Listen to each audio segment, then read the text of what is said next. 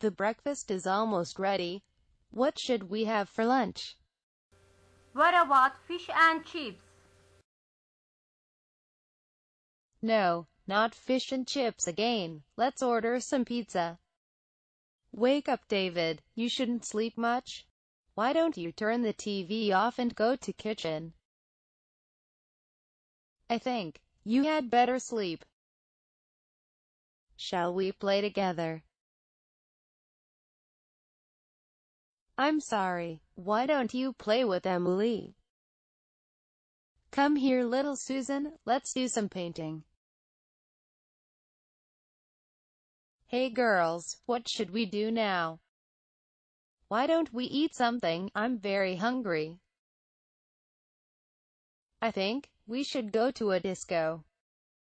Well, shall we go shopping first? It's not a good idea. I haven't got enough money for the shopping.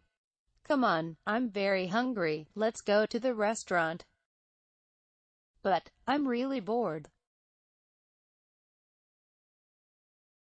Okay, we are going to the cinema. There is a great romantic comedy movie. It's very exciting. And Lisa, you can eat something there. Great idea. I am in.